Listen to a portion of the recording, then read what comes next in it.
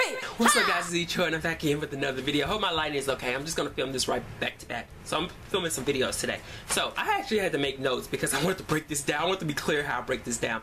But anyway, today I want to do a uh, chop it up with um, on Nevada Barr's um, Boar Island, which is book number 19 in her Anna Pigeon series. As you guys know, I've been talking about her all year long, pretty much. But Anna Pigeon is a park ranger, and she goes to various national parks within the series each featuring a different murder, each featuring a different crime, each featuring a different resolution for Anna to uncover. And with this particular book, she takes the book takes place in it's it it makes you want to say Arcadia, but there's no R, so it's Acadia National Park, which is as far as I can recall is located in Maine. I don't have a copy of the book because I had to lend it from the library, and then hopefully one day I'll buy it for myself, which is going to be real soon. I, I can feel it in my spirit. So I'm going to look at my notes here because I have to be clear about this because yeah, it really is like that. So First, I gotta say that the book is written in third person, which is tradition for this series. Two, there are three running narrative threads. So there's an A story. Well, just three running narrative threads. I'll keep narrative in the in the sense of characters.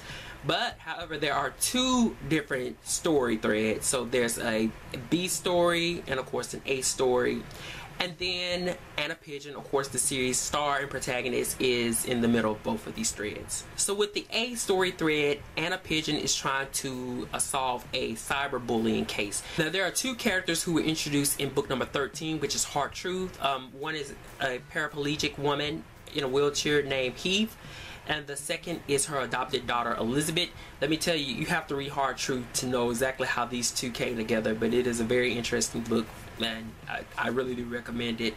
But these characters, you know, they were introduced in Hard Truth, but they recurred or showed up again in book number 18, which is previous to this book called Destroying Angel. So Nevada Barr brought them back for this book. And let me tell you, I don't really care for these characters so much, but with Boar Island, I kind of started to actually, after all this time, warm up to Heath and Elizabeth. So I wouldn't mind seeing them again, but you know, at the same time, I'd rather see Anna Pigeon. But in all regards, Heath's adopted daughter Elizabeth is experiencing some cyberbullying. Girl, these somebody somebody crazy is calling her, you know, slut shaming her and uh, just bashing her on the internet on on a blog that's frequented frequented by her classmates, and then they're sending her text messages of all this crazy stuff. Child, just you know, cyberbullying, just giving her all kinds of hell. And you know, she's only 16. So of course they call in Anna Pigeon and what Anna decides to do is because she's about to leave off to take over a place for another park ranger in Acadia National Park, she decides to, to invite them to come along with them to sort of get away from this whole cyberbullying thing. And they end up planting, planting themselves onto an island, which is Boar Island. Now, the B story involves a woman named Denise, and she's also running the narrative of this B story the majority of the time. But the B story is about a woman named Denise. Denise is a park ranger who is, girl, she is tucked deep into her feelings because her previous boyfriend of 11 years dumped her and is and now having a child with another woman who is also they're all in the park ranger system of this particular park and you know she's just in her feelings girl she's just like I can't believe that this guy did this to me after we've been living together for 11 years. You know he's finna get to marry this woman. He's giving this woman a baby. And here is Denise sitting all alone by herself. But that's not quite true because she discovers that she has a twin sister who is also residing in a, a sort of a community's uh, almost outside of Acadia National Park, so they can see each other whenever they want to.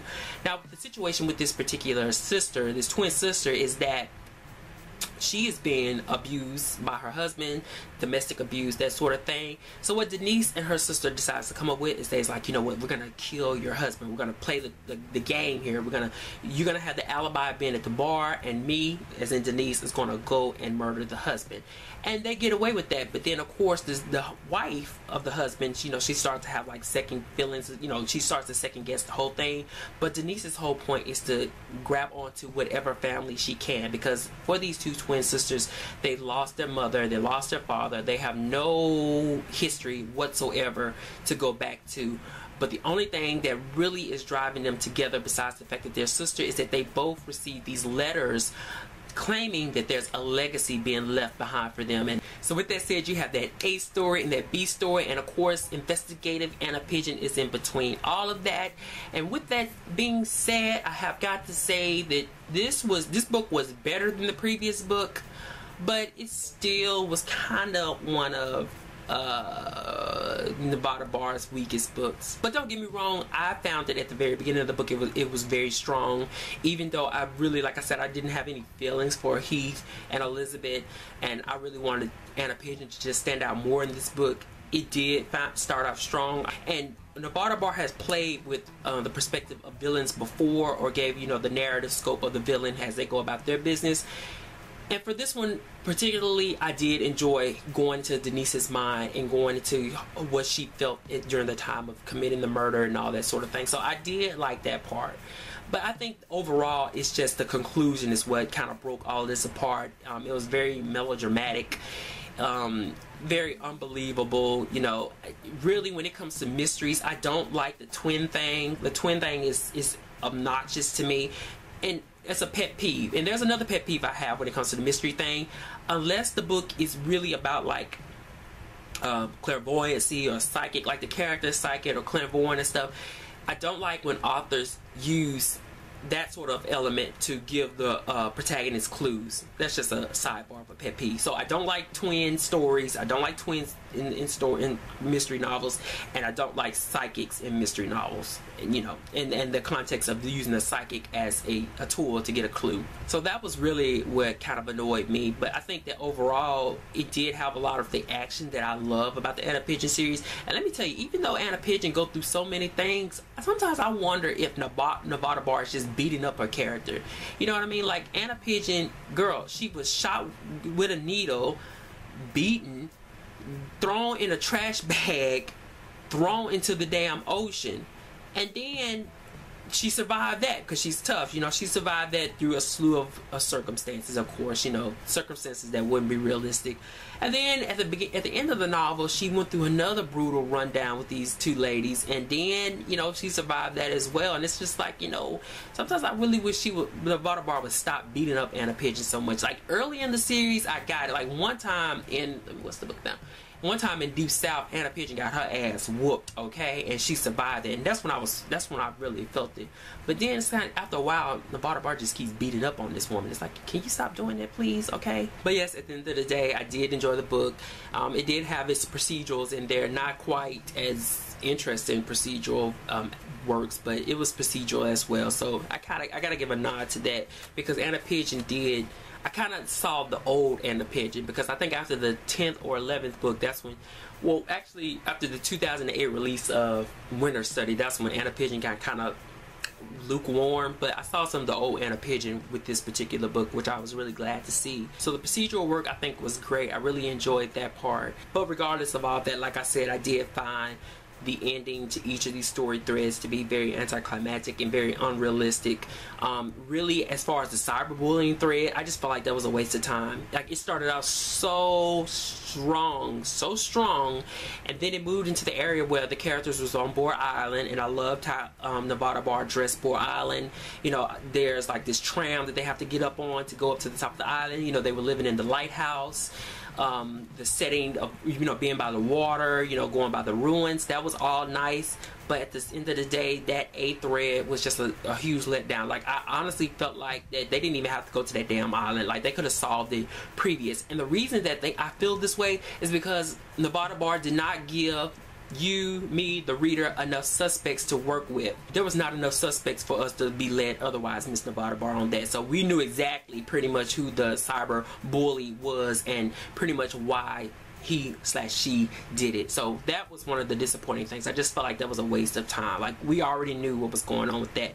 How she led to it, interesting. How she concluded it, awful. Like there was there was nothing to work with. Now, as for the B story with the the two twins and their murdered husband, mm, unrealistic, unrealistic again. But let me tell you something about that. What she did do really well despite all that unrealisticness, is she did a great job of dressing the character of Denise. Like Denise being um, the killer. Like I said, this is open, guys. This is an open mystery, so you know this from the jump.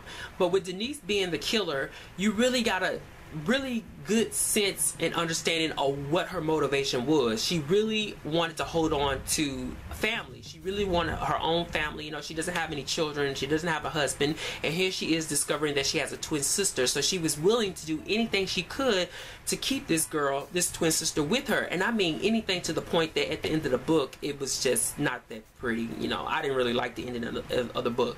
But I did understand the motivation of the character of Denise. So I do have to say that Miss Nevada Barr did a good job of that. Still at the same time, Denise was doing a lot of unrealistic things. But just the simple fact that she wanted a family, she was going hard for it. I I connect. I understood that part. So I think Nevada Barr did a good job of dressing her villain up. But nonetheless, between the two threads of the A story and the B story, there was some there was some little uh, connect connections or connectivity or some synchronicities and certain serendipities and girl some stuff that just it, it, Nevada Barr tried to connect these two stories however she could and I don't know. I just didn't. I didn't buy it. I just didn't buy it. I mean, I understood it was very clear cut how she did it, but it's just too, you know, like I said, the twin storyline, and then the, uh, the two, you can't. You that's just it's just piling too much. You know, they just can't happen to be at the same place. They just can't happen to be twins. They just can't happen to be within the vicinity of the place that you know they're trying to find this legacy or this inheritance, and then on top of that, Anna Pigeon's team are are sitting right on top of you know what they're after. So it, you know I, I can't. That's kind of vague, but I'm gonna keep it at that. All in all, I did think Boar Island Anna Pigeon number 19 was okay. I think I gave it about three stars.